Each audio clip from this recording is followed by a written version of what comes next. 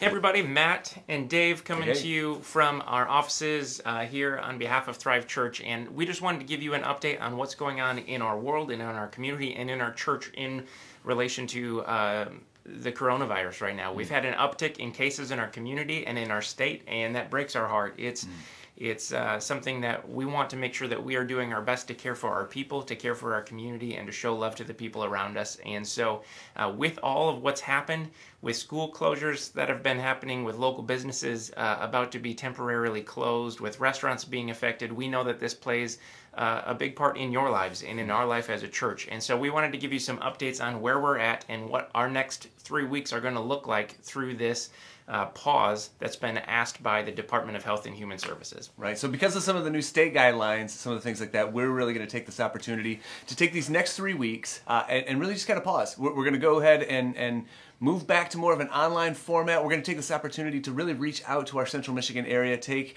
uh, a chance as a church to, to really meet some very practical needs through the holiday season of what's happening in this area and just model the fact that we are for our Central Michigan community in the midst of what is probably one of the most difficult seasons that we've, we've ever experienced. So. And especially heading into a holiday season, we know that this is going to have some really good ramifications. Uh, and by good, I mean really challenging ramifications for a lot of families, not just in our church, but in the central Michigan area. We know that uh, some families are going to have a temporary loss in income. We know that some have already been hurting uh, through the, the last few months that have led us up to this season. And so rather than focusing our energy and rallying our attention into making a a great large gathering on Sunday mornings, we are going to resume our online campus only and we're going to focus our energy, focus our attention on meeting the practical and the tangible needs of people in our community to show that we truly are for this community. We're living by the same guidelines, we're living by the same recommendations, and we're we're just going to get out there and serve and, and be present in our community through this. And one of the things that we, we realized even last time that we went into a quarantine, that's obviously not where we're at right now, but this idea that the church has never been about a building. The church has never been about our programming. The church has never been about, it, it's been about a body of believers who, who gather together, who meet the needs of one another, and who point people to Jesus. So that's really what we want to take these next three weeks uh, of just scaling back to, to really do, to really refocus our attention on what God's doing in this area and, and meet some tangible needs of the Central Michigan community and beyond. And, and let me be clear, this isn't us putting uh, the brakes on ministry. This isn't Right. us stopping what we're doing as a church. This is us continuing what we're doing. In fact, it might even be accelerating what we're doing to serve our community and to really be engaged with what's going on. The only thing that pause that, that pauses is our Sunday gathering in person at the Mount Pleasant campus. But the online campus will be alive and mm-hmm. active. We've learned how to do that really well over the summer when we were forced to, and we're going to continue to just do the best we can on Sunday mornings and the best we can to show love for the people who need it right now mm-hmm. by serving and loving our community. So, tangibly, let me tell you what that looks like.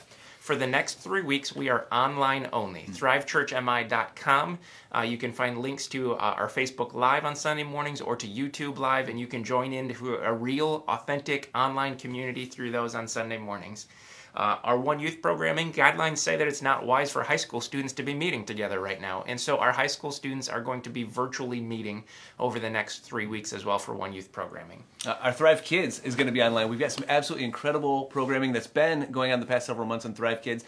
Kids will still be able to engage in that online by going to the Thrive Kids Facebook page, uh, and and all that will be right there as well. And our small groups, we've got some really great uh, opportunities to go virtual with our small groups to stay connected. Uh, 2020 has, has given us a whole bunch of new technology it, to, to stay in community with people through small groups. So we're going to be moving those to an online virtual format and, and just encouraging people to continue to meet through these next three weeks, continue to encourage each other, continue to support one another. Yeah, absolutely. And the health guidelines that have been laid out really even encourage you to pick a family to stay in close contact with to keep that community going. You don't have to live in isolation. You were never made to live in isolation.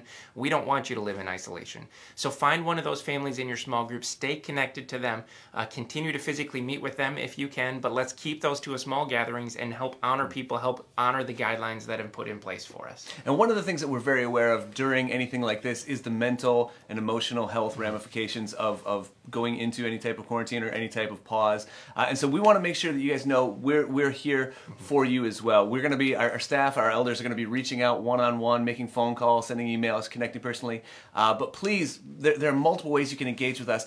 Info at thrivechurchmi.cc is a great way to send that in. We also take prayer requests all the time or through our Facebook page. We want to to know where you're at. We want to know how you're doing. We want to know how we as a church can best be serving you during the season also. Absolutely. And if you're just struggling, pop into our offices. Mm-hmm. We will still be here. We will still be accessible. Uh, we're just going to try to limit the large gathering for a, a temporary time to make sure that we're doing the best we can to keep our community safe and to honor uh, the, the recommendations that have put before us. So continue to reach out, continue to let us know how we can help.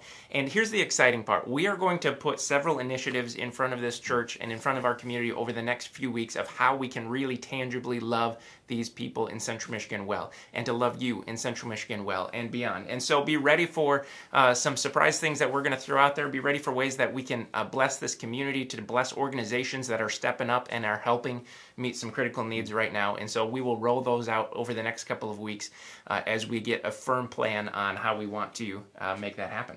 We've also got some uh, really fun kind of things planned right now for our Sunday morning experiences.